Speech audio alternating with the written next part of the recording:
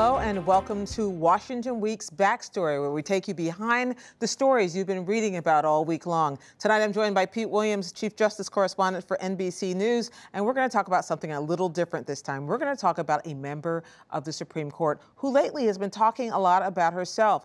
Her name is Ruth Bader Ginsburg. She's been on the court for a while, but she also has a moniker, the Notorious RBG. All of a sudden, I don't know many other uh, Supreme Court justices who have rap pseudonyms. There are none. Why has she gotten? Why has she blown up like this all of a sudden? well, it really started at the end of last term. Uh, she was very outspoken about her male colleagues on the Supreme Court, saying that they completely didn't get it in the decision, the Hobby Lobby case about contraceptives. She was very outspoken. People really picked up on that and began to look back at this woman's career, who was an early champion of women's rights. And they sort of threaded it all together, and she kind of just, it seemed to be a moment where it hit all the right notes, and younger women started to pick up on it. There are Ruth Bader Ginsburg t shirts. You can get a Ruth Bader Ginsburg tattoo on your arm that's a portrait. And then this whole thing about notorious RBG. Now, of course, she is a Supreme Court justice, so her clerks had to explain what that meant to her. But now she gets it, and she thinks it's pretty cool. Well, the interesting thing about Ruth Bader Ginsburg, just tell us a little bit about her background, where she came from, and how long she's been on the court. Well, of course, she's from Brooklyn originally, uh, and uh, she's, uh, I guess there are three or four Supreme Court justices now from New York Sonia Sotomayor, Antonin Scalia, he's actually from New Jersey. Uh, so there's a lot of New Yorkers on the court, but she Elena was Kagan. Elena Kagan, right? She was a, a, an early lawyer for the ACLU uh, when they began to litigate women's rights issues, and she was the Thurgood Marshall of women's rights issues. She used sort of the same technique of small issues that could connect to larger issues for women. And as she put it, she wanted to break down the stereotypes that women could not be policemen, firemen, uh, airplane pilots, serve on juries, uh, go to the Virginia Military Institute. Um, uh, that was her decision when she was a Supreme Court justice. But as, as an early uh, advocate for women's rights, she, she really pointed the direction to a lot of the big changes now that we take for granted. And yet, it is said that one of her best friends on the court is someone who is her ideological opposite, Antonin Scalia. It is, it is said, and it is said by them. They are big pals. Uh, they, they snipe at each other constantly in their opinions. Scalia says some terrible things about her opinions. She's a little more measured, but they don't agree on many things. But they do agree on a few things. They agree on opera. They're both huge opera fans. Uh, there is an opera that's been written about the two of them, about which they are both delighted. possibly spout this? The Constitution says absolutely nothing about this. How many times must I tell you, dear Mr. Justice Scalia? You'd spare us such pain if you'd just entertain this idea. Justice Scalia is imprisoned in a dark room for excessive dissentings.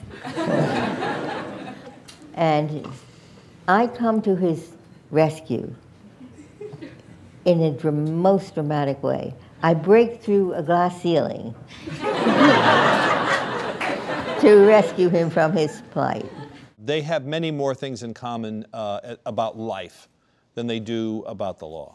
Sometimes I think we forget that the Supreme Court is a club that there are very few members of, and so they have to have a lot more in common than we would think just looking at five to four rules. Yes, although as you know, they've also been described as nine scorpions in a bottle. Well, there's so. that. There's that. Um, I, it's interesting. She got more attention recently because of the footage of her falling asleep quite conspicuously at a State of the Union address. That's not the first time she's done it. No, it's what most of us would like to do during the State of the Union address. Here's the thing about the Supreme Court justices they can't be perceived as uh, approving or disapproving for anything the president says. So while everyone else is jumping up and showing their appreciation, for the most part, the Supreme Court justices just have to sit there. So it's a pretty passive experience to start with. this is the second time this has happened. And both times she blames it on this dinner that the justices have before they go over. And it's not all the court, by the way. It's I've been in recent years six or seven of them. So they all have dinner, uh, and, and she says that Justice Kennedy, who's from California, always brings a really nice California wine, and that she has a few too many pops, and it gets to her during the speech. We're not, at least I wasn't, 100% sober because before we went to the State of the Union, um, we, had, we had dinner together, and I vowed this year just sparkling water, stay away from the wine, but in the end, the dinner was so delicious it needed wine to accompany it. so so, I, oh. so I got a call when I came home from one of my granddaughters, and she said, Bubby, you were sleeping at the State of the Union. she was sitting between Justice Kennedy and Justice Breyer, who, yes. who I believe who were elbowing her throughout. Yes, There are a yes. couple of shots in which both of the other women on the court are looking at her disapprovingly, Right, right. and and and you begin to wonder about that. But it also raises other questions, even though she has that very charming story about why it happens, about her age and her health, which is the reason pe- people often have talked about Justice Ginsburg in the past several years. But there's no sign that she's going anywhere. If you have not heard Ruth Bader Ginsburg say that she's not about to retire, then uh, clearly you've been asleep for the last 10 years. How old is she? She's 81. Uh, and she, uh, she has had two battles with cancer, and um, she's recovered beautifully from both of them. But this all got started when a couple of legal scholars started writing articles saying, look, Supreme Court justices hang around too long. And Justice Ginsburg and to some extent Justice Breyer have this great liberal legacy.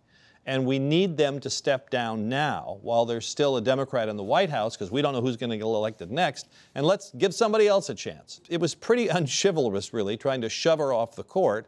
And she's been making it pretty clear that she's not going anywhere. Now, she had said that at one time her model was Justice Louis Brandeis, and he served on the court until he was 82. Now she is knocking on that door, and I think she wants everybody to know she's not going anywhere. Well, as long as she's enjoying herself and she feels like she's on top of the job and she doesn't have wine just before she reads her decisions, I think she's Well, and she's what and what she has said is, as long as I feel that I've got it up here and I'm, Right. you know, I'm on, uh, I'm hitting all eight, and I feel I can, I can uh, do my job, then I'll stay. If I feel I start to slip, then I'll quit. The notorious RBG. Pete Williams, thanks a lot. My pleasure.